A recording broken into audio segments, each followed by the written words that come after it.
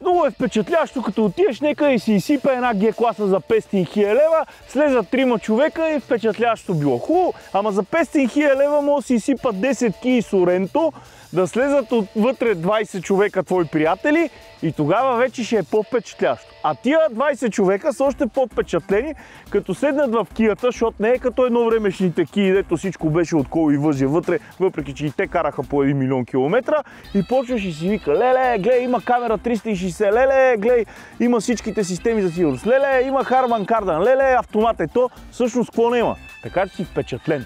Днеска ще разгледаме и ще покараме едно автомобилче, всъщност едно SUV и това е Kia Sorento трета генерация UV.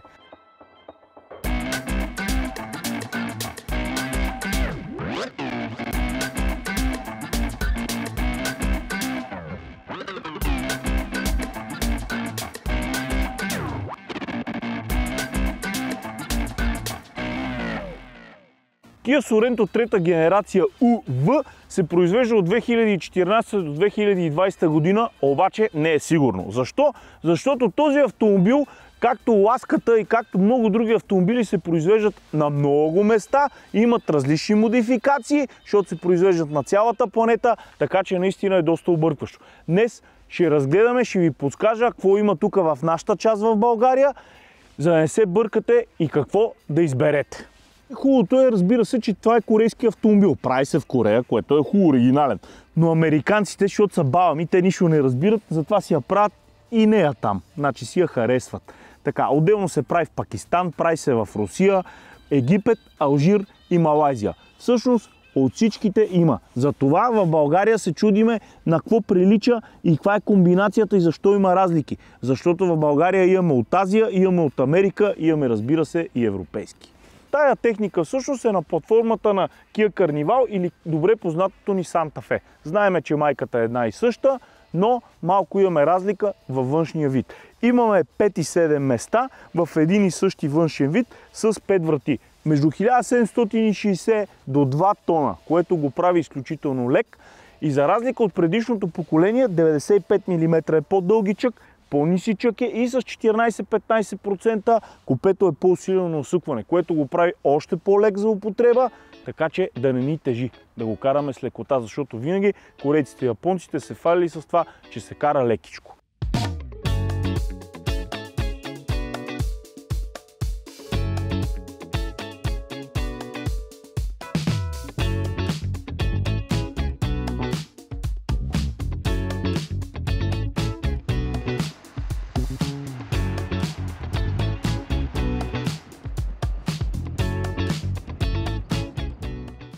Европейската версия, 2018, когато излиза фейслифта, имаме вече разлика малко в фарчетата, имаме разлика в решетката, която понтира малко уния точици на Мерцедес. Халогените преди фейса са такива огромни като джобове. При фейса вече излизат с малък кръгъл халоген, като имаме опция и за GT Line с уния малките точици, които имитират знаменце. Добре познатите и става още по-красива. Като го загледаш, типично по-американски изглежда, малко го виждаш по един такъв леко скучноватичък, в същото време виждаш, че има детайлчета в него. На който му харесва, му харесва. На който не му харесва, като го покараш, му хареса и като не ходи в сервиза.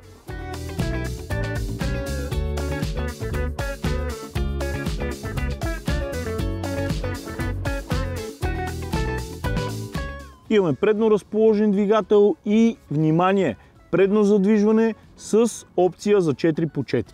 В крайна сметка в България се оказва, че понякога не ни трябва 4 по 4. В чужбина доста често карат само на един мост. Имаме най-обикновено окачване, отпред имаме Макферсон окачване, спирачките са задоволителни, имаме 16, 17 и 18 сола. Тук наистина ще ви кажа, че колкото е по-голяма джанта, толкова е по-красив, но вози по-твърдо и малко отскача. При фейслифта 2018 подобрено е разбира се с малко окачването, колата е малко по-стабилна, малко по-комфортна, с малко по-дебели штанги. Също то е нормално при фейслифта малко да се пипнат някои неща, за да има разлика, но колкото е по-малка джанта и по-голяма гумата, толкова комфорта е по-голям. Типично по-корейски автомобила вози като две гумени топки, когато започнеш плътни да ги удряш една в друго, когато автомобила е изправен. Гледайте го, разбира се, за ръжди, защото знаеме, малко му е тънкала маринката и особено ако е дошъл от някъде от влажните места, няма значение от Европа или от Канада, може да има ръждички. Така че разглеждайте тези работи. Едно от оплакванията е, че когато малко по-дълго време покарате направо, малко затяга рейката, тъй като е електрическа и това нещо трябва да се ремонтира, защото може да натоварва. Проверявайте го това нещо. Не е окей. Okay.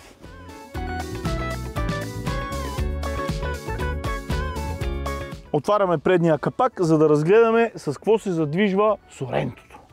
С какво се задвижа? Задвижва се с няколко двигателя, като пак според от това откъде идва, има различни модификации. Имаме 4 и 6 цилиндрови. Може би му липсва един осмак, тогава ще се засили повече, но напълно достатъчен е и шестак. Така, започваме с най-малкия. Имаме 2000 кубика турбо, добре познатия ни от Kia, който е 240 конски сили, той излиза при фейслифта. Той реално замести 2004-ката 4 цилиндровия, който беше 190 конски сили GDI. Така, като разбира се, според модификацията и според варианта за къде е произведено, имаме мотори и с директно впръскване и с мотори без директно впръскване. Добре познато е в България, реално идват от три места колите. Америка и Канада, Европа и разбира се от Азия. Тези от Азия даже са с вградени газови уредби, които тук много е важно да има човек, който добре да ги обслужва, защото карате само на газ. Сега, 2004-ката страда от лагери. Затова задължително слагайте добавки. Бензиновите са ми известни, че малко подкарчват масълце, като при някои даже модификации при шестаците имаме проблеми с коляновия вал, не е добре закален и се чупи, което въобще не е окей. Okay. Това е следващия мотор, който е 3.3 V6 и там е между 270 и 300 конски сили варира горе-долу това нещо. Там трябва да го проверявате да не чука, внимавайте, трябва всичко да е наред и му слагайте добавки. И на единия, и на другия задължително от автогараж. Вземете си, поръчайте си, слагайте задължително още като я вземете, а не когато се появи проблема. И фейслифта, шестака се замества от 3.5 276 коня, който е с малко по-силен с 6 конски сили, малко повече нютони, но всъщност разлика почти няма, нещата са доста сходни. Оттам обаче ще отидем при дизела. Имаме вариант двойка дизел за някои държави, но най-разпространения, който е в България, това е 2.2 CRDI. 200 конски сили, 440 Нм и това е мотора, който е най-адекватен за България. Разбира се, бензина също, щопа не 3 и тройката, но там трябва да видим точно в коя година да го оцелиме, за да нямаме проблеми. Дизелчето, какво трябва да внимаваме? Разбира се, че ако се кара само градско не му е добре. DPF, дюзички, егери, това се проверява да слага добавка в горивото. Хубаво е да следят тоците. Голям акумулатор задължително, за да не се бърка. Само искам да го запаля да го чуваме как мърка. Ето това е типично Kia мотор. Мръсно! Що? Защото не се бара. Не го бараш, бате. Не го бараш, а караш. Даже това ще трябва да е слогана. Не го бараш, а караш. Работи леко шумно, леко трака. Бензинджиите ще кажат, опа, то тракатралник. Да, бензиновия работи много равно, но обаче тук има нюдони.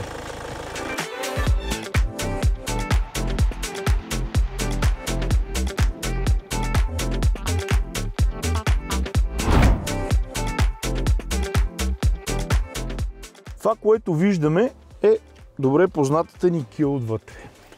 Започваме отгоре надолу стъклен таван като опция, разбира се. Тук трябва да внимаваме, защото зимата при студеното малко трудно се затваря, затова редовно смазвайте с силикон и спрейчета шивидаха, почиствайте го, за да няма течове. Тук вече е леко пипнато. Държач за очила. Слизаме надолу. Таблото, въпреки че от гума, имаме имитация на шелове имаме два вида мултимедия. Infinity и луксозната на Harman Kardon. И двете са абсолютно добри. Навигацията се различава при фейслиста и преди фейса с 1 инч. Имаме централно табло, което имаме отляво стрелка за обороти, отясно имаме температура и горивомер. По средата имаме дигитално табло, което ни информира абсолютно за всичко. Километража е дигитален, но всъщност изглежда се едно стрелката е реална. Вътре имаме борд компютър цветен, който регулираме от волана. Волана може да ходи в абсолютно всички посоки или да тича, зависи какъв взор ще му дадете. Климатрониче двузоново, тъчскрин дисплейче, което разбира се има абсолютно всичките екстри. Слизаме надолу и ни пада ченето. Подгрев и обдухване на седалките плюс подгрев на волана. По-надолу имаме 12 волтови две зареждачки, плюс USB, плюс AUX, плюс голям джоб да си оставиме каквото пожелаеме. Двоен къп холдър, разбира се, кое е за парфюмите на бричка, като знаете, че ще имаме и нов аромат. И скоростния лос. Абсолютно всички екстри се явяват ето тук и ето тук, на тези две лайст. Имаме драйв мод, който да ни регулира спортния режим, екорежима.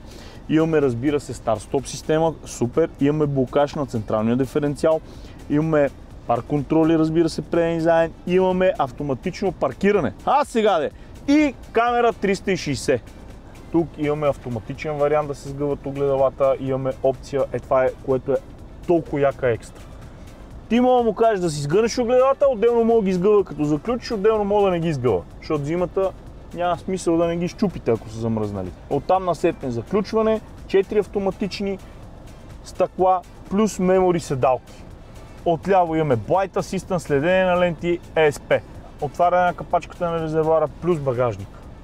И си викаш, ай стига бе, каква е тая кия бе? Впечатляващо ли е? Впечатляващо ли е като ги е клас седет? Пуйната неща, за да ги поръчаш, трябва да дадеш още два сака с пари, уния двамата дете се возили отзад багажника на гето, трябва да донесат парите.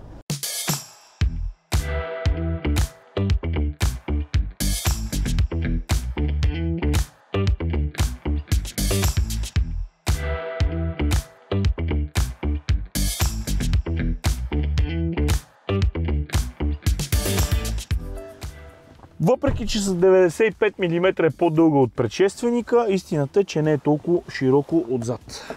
Имаме 12 волтова зареждачка за запалка плюс USB, мрежичка, пластмасови гръбчета за изофикса децата да не ритат толкова много и да не цапат. Стъкления таван отива много назад и създава усещане за много голям обем. Дръжчица, осветление и разбира се имаме и шторичка. Просто са се постарали с малко да е супер. И имаме подгрев на задните седалки. Подлакътника не е толкова голям, но е достатъчно удобен с строен къп холдър да си оставаме нещата. Ето вижте детайлите. Значи ето бе, гледай как може такова нещо, гледай от кия да се погрижили, ето ти една ластичка да зашият, да се привере това, за да не се ръбиш задницата. Защото ще качиш на жена ти сестра и балдазето и като е такова дупето е тук оп, и ще се удариш и посине. После ще трябва да се обясня на мъжа си как тази синка е точно там, че не я щипнал някой познат. Така е от кията. Еме да, да, кията като има ластичка, после не може да се оправдаш. Затова си вземете ножичката и си резнете всички кия джи и ластичето, да нямате проблеми после с балдъзата. Ти си я щипни, тя ще качи от кола. Хайде с, с моите глупости да видим, видим багажник.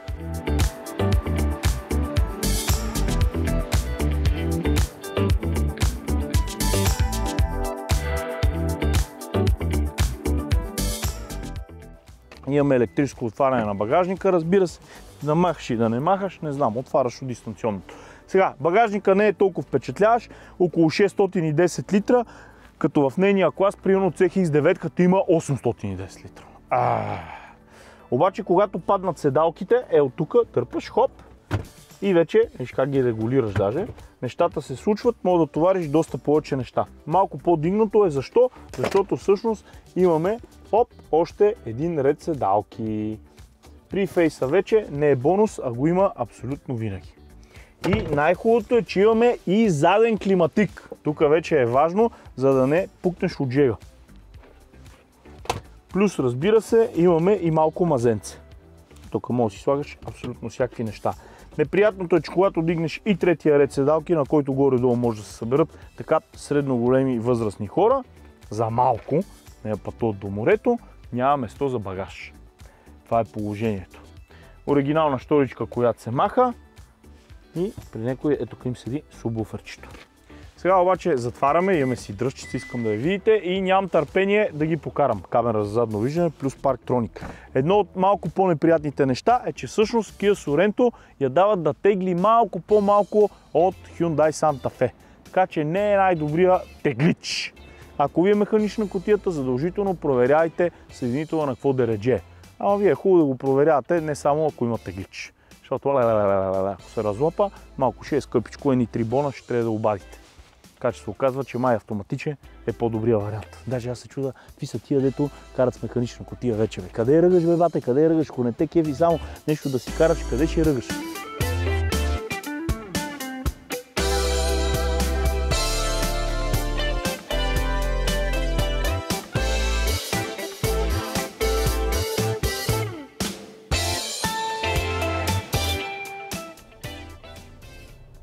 Имаме три вида скоростни кутии. Имаме 6 степена механична, имаме 6 степена автоматична и при фейслифта имаме вече 8 степена автоматична.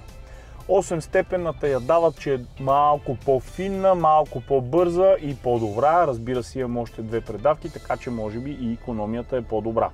Механичната котия е много приятна за каране, но, както казах, е за хора, които наистина искат такова нещо, да карат механично. Проверяйте задължително съединителите, особено ако има теглич. Това как се заключи, чак се стряскам, но честно да ви кажа ми харесва, защото по този начин разбираш, че сте заключени и отключени вратите, което safety first е едно от най-важните неща.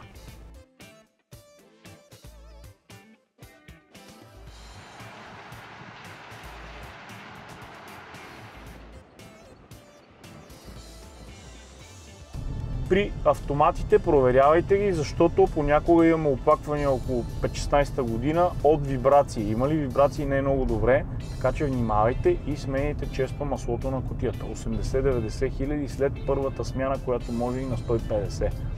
Хубаво е често да сменяте 60-80 хиляди, още повече 60, ако дърпате и е по-натоварена градска тръгва спираш и така нататък. Изключително леко се движи автомобила, особено за дизела. Това е разликата. Най-разпространените двигатели, разбира се, са 3.3 V6 при фейслифта 3.5 и дизелчето 2.2 дизела. 2.2 дизела е един чудесен мотор. Първо ще ви разкажа обаче за бензина, защото бензина е мазен, плавен, върви добре и дърпа достатъчно силно. Усещането не е силен ряз, който го има дизела заради турбото и заради нютоните, но усещаш, че имаш сила. Там трябва да внимавате с коляновия вал, да се прегледа всичко основно, разбира се, когато закупувате Kia или ако я поръчвате от Америка и Канада, задължително пълна сервизна история, за да видите на какво да редже и какво е сменяно и какво е правено. При дизелчето е абсолютно достатъчен, бърз и адски економичен. Горе-долу този автомобил му дават среден разход около 9 на 100. Даже му дават 7-8 извън градско, 9-10 градско. Средно 9. Изключително приятен е за каране, но един от дефектите, който се появява е датчика за гъста, така че малко е неприятно, ако ви се случи автомобила въобще да не иска да се движи или едвам да се движи, може да не е щупен двигател, просто не очита, че давате газ.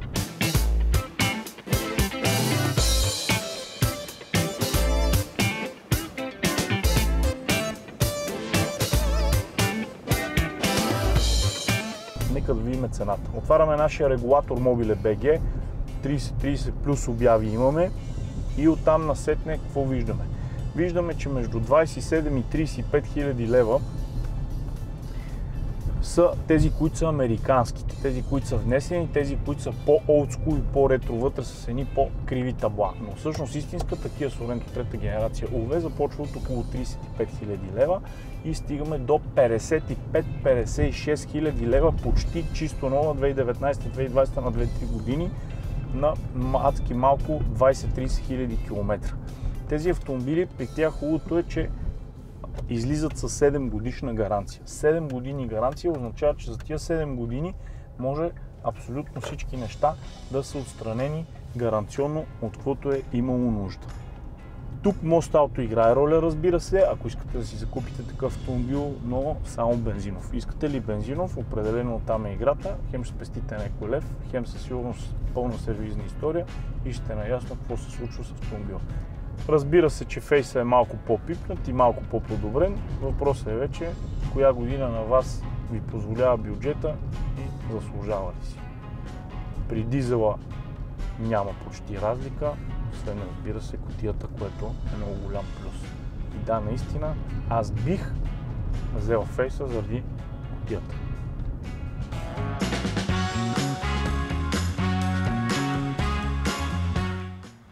Харесвайте ни, лайквайте ни, шервайте ни, цъкайте камбаната и търсете клиповете, разбира се, вторник 2 часа и съботите.